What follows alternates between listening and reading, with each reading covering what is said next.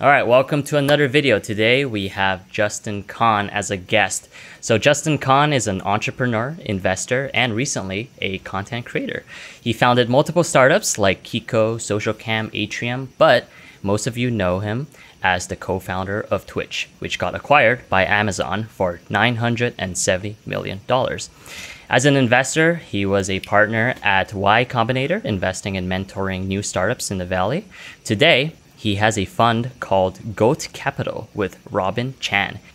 Oh, and by the way, let me know if you want a new partner for your fund. I don't want to flaunt my wealth, but I have about 20 large already on uh, Joma Capital, so. All right, we'll take it. Really? Okay, great. he recently started a TikTok and a YouTube channel that is doing extremely well, inspiring people to start their journey as founders. So, welcome, Justin Kan. Thanks for coming. Joma, welcome. I've welcome. You're inviting me, but thank you, thank you for having me. Awesome, great. So, I just first wanted to ask you, like, you know, what, what's up with the the YouTube channel? You know, for a guy who can be working on anything, like, why why YouTube? Yeah, so I, I, guess it's specifically because I get to be working on anything that I love YouTube. It's been really fun for me to flex my content creation muscles and try to create my own brand of edutainment. I'm loving it and having a lot of fun with it. Nice, that's awesome. So, like, what's your what's your main goal with the YouTube channel? When people watch your channel, what, what do you want them to get out of it? I love just teaching people things. So, some of the things that I'm most proud of in my career is just the times when I've been able to help someone out, give them some advice, whatever it is, and uh, that's what I want to do at scale through my YouTube. I had a, someone come up to me at a conference a year ago, or maybe a year and a half ago before the pandemic, and he gave me a hug and he was just like, you know, Justin, you talked about seeing a therapist, and now I'm seeing a therapist as founder at a conference. And so it's just moments like that that have really made me feel like I'm contributing to the world in some small way and just try to do more of that. Yeah, that's really that's really nice. Um, when did you start uh, seeing a therapist? Is it after Twitch or before Twitch acquisition?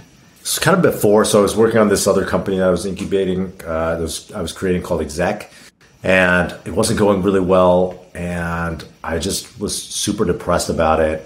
Out of desperation, I went to see a therapist, and I was just like, "What's wrong with me? Why can't I? Why can't I do anything? Why am I not motivated to do anything?" Mm-hmm. The company wasn't doing well, and I had tied my ego up in the company. You know, so I told all my friends, or told our investors, my employees, this is going to be the biggest thing ever, and I'm I, really had wrapped my identity up as a, being a successful founder. And so when the company was not successful, that's that really was a blow to me. And I spent all of my time instead of being in the present, in this present moment, I spent all my time in the past thinking, oh, I should have started a different company. I should never have started this company. I should have done something different. Or I was spending time in my future, like how am I going to talk to my investors about how this isn't working out? Or, you know, I, I was just I was just always caught in, in, in ruminating about the future or or feeling sorry for myself about the past. It was just easy to forget the you know the the, the what was good about my circumstances and then just be caught into this negative feedback loop.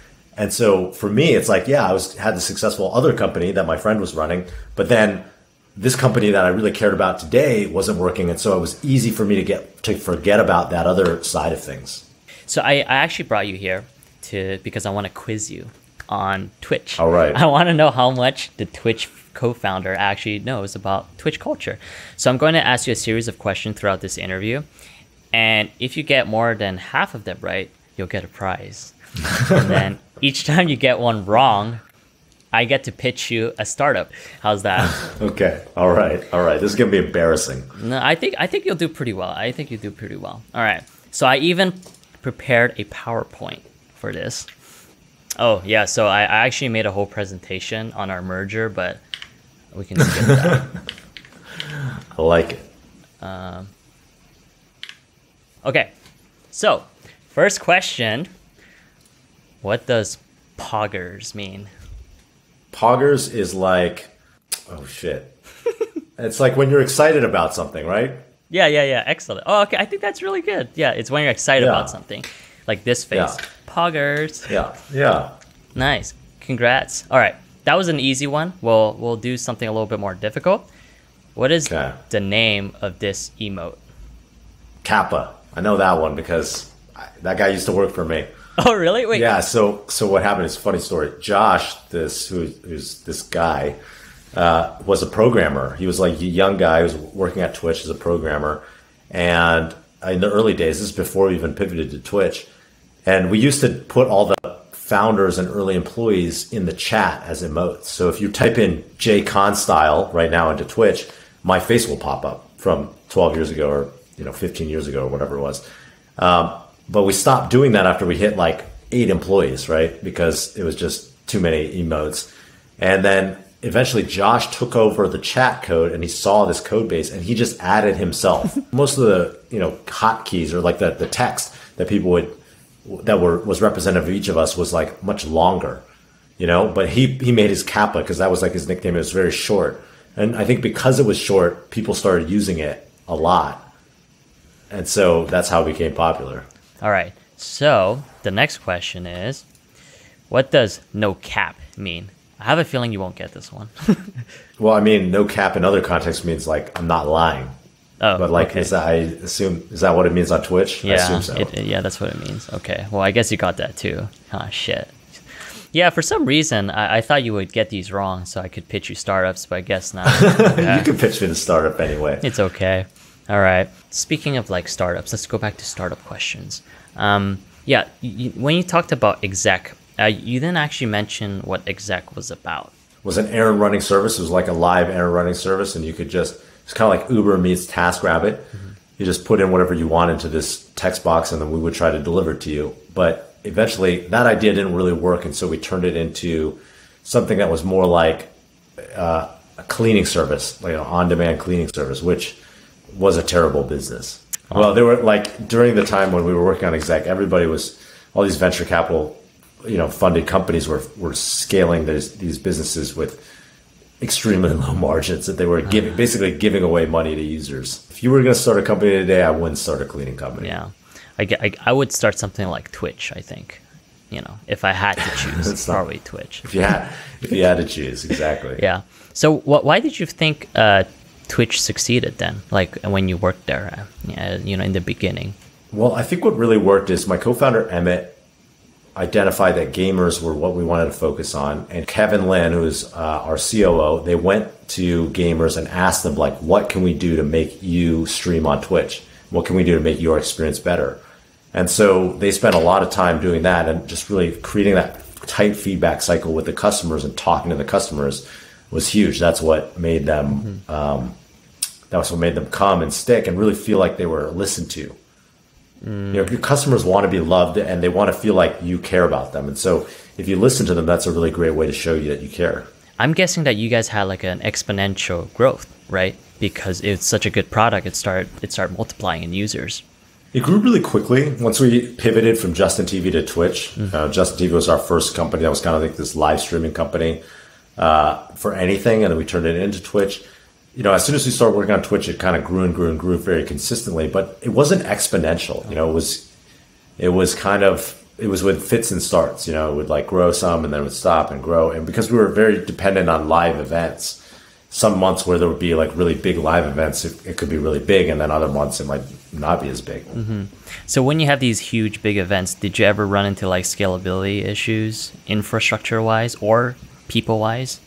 I mean, anyone who's knows who's been on Twitch knows that we ran into a lot of scalability issues. So I'm not going to lie. We did a lot with a small team, though. We built this, uh, you know, uh, data data centers and like streaming um, points of presence like all over the world, 16 locations with a team of like less than four on the network engineering side. So we, we scaled quite a bit, mm-hmm. but you know, it was still there was still some occasional downtime. So when you started um, Twitch or, or Justin TV, you said that um, you weren't really a great programmer, right?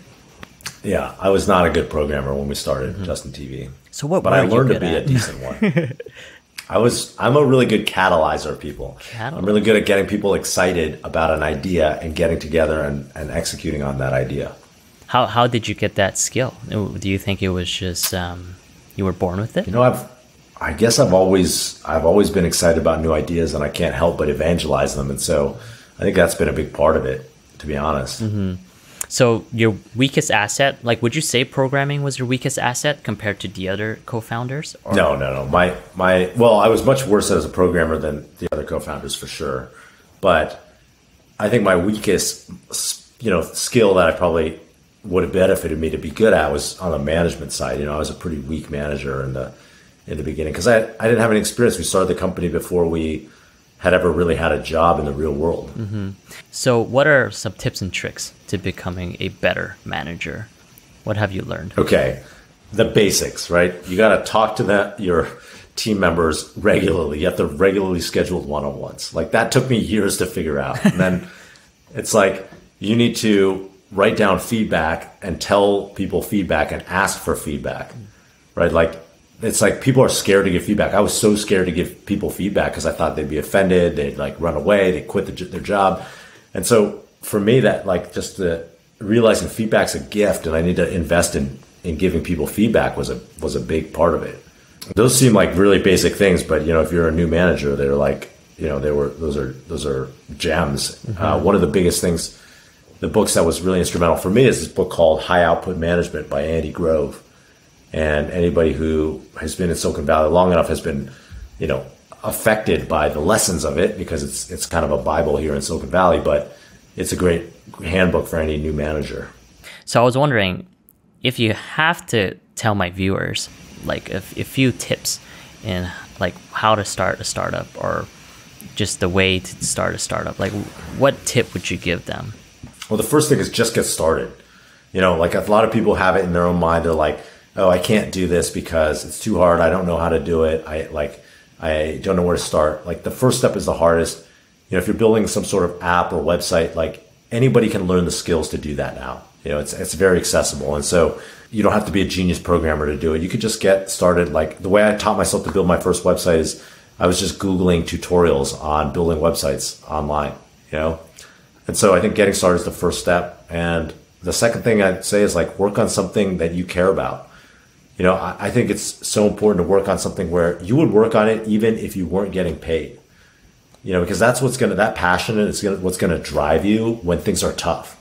You know, it's gonna make you stick with it. And so uh, I think a lot of people choose what to work on based on what's going to make the most money or because, you know, they're very mercenary about it. But I, I think it's so important to work on something you actually give a shit about. When do you get in the zone? Like, like what, what's, what's passion for you? Yeah. So, I mean, when I'm making content, I think for me, I'm often in the zone.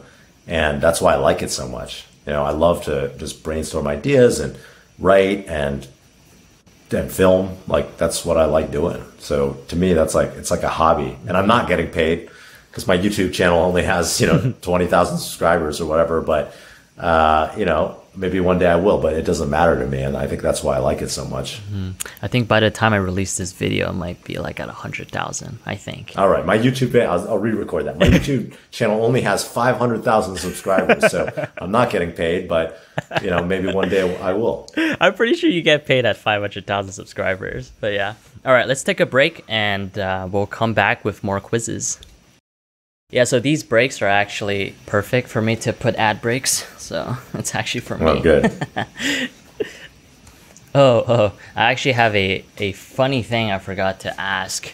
Uh, yeah, so before we go to the quizzes, um, I, I heard that during your senior year at Yale, you posed for a charity calendar you created. And, like, is that is that you? Oh, that is. I'm very proud. I'm proud of it. That that one's cut out. There's like you know, the original has. I'm in like a, a the the kitchen of our uh, kind of dorm room or dorm house, the house that we lived in in college, and uh, yeah, that's me. It was it was. it's uh, it's very impressive. Thank you. The story behind that is that at lunch just then when I was talking to him on the phone, I was like, okay, I'm going to make this calendar. And I started talking to some people who were like sitting next to me about it. And I was convincing them to pose for it. And I said, you know, to convince them, I said, I'll do something more ridiculous than whatever you do. Like if I'm asking you to like rub rose petals on yourself in the shower, I'm gonna I'm gonna do something even more ridiculous. And so they said, you know, they, they agreed, and I got friends of mine to like. One of my friends was literally rubbing soap on him in the shower, uh-huh. in the shower. One was like lying on the pool table covered in rose petals. And so I had to go. You know, I had to make good on my word and do something that was just even even more extreme. That is crazy. Were you were you always this ripped? I mean, to be honest, I looked a lot better than that last year, but then Really? I got into this. Yeah, I- I've been. I, I was you know working out pretty heavily for the last couple of years, and then then I got into this accident and uh-huh. broke both my elbows, so my workouts have gotten a little bit weaker. Yeah. But you know, I'll always have this photo. Right. That's the important part. That's pretty cool. I mean, I also have a more recent picture of you. Uh, I think it's this one. So this is what you look like now, right? this is the. That's my body. Yes. Yeah, That's my body. Very nice, very nice. But yeah, okay, let's go to the quizzes now. Um, okay, these ones are actually harder. Like you might you have to watch a video and stuff. You just have to watch like five seconds of it, and then you have to tell me what the streamer is talking about.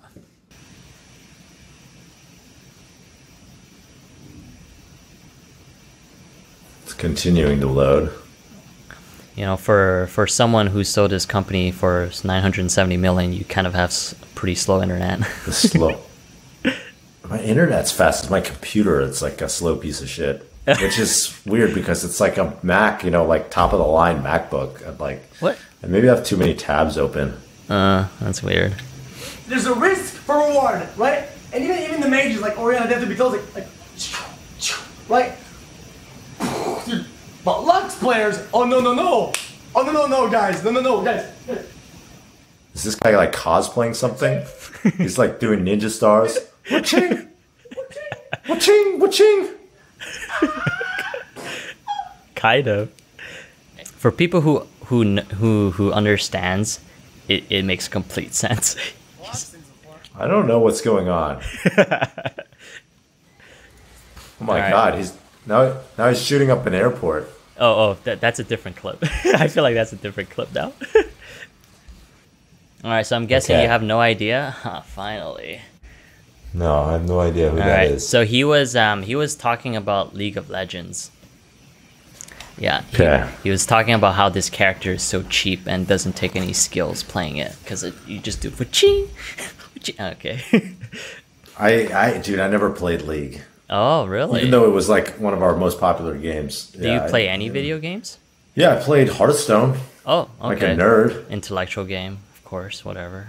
A- Yeah, anything and else? I played. I used to play Call of Duty like in two, uh, ten years ago. oh, okay, FPS, nice, nice. Do, do you know about the game Valorant? no, Uh, it's the it's the newest FPS shooter. It's it's made by Hmm. Riot Games.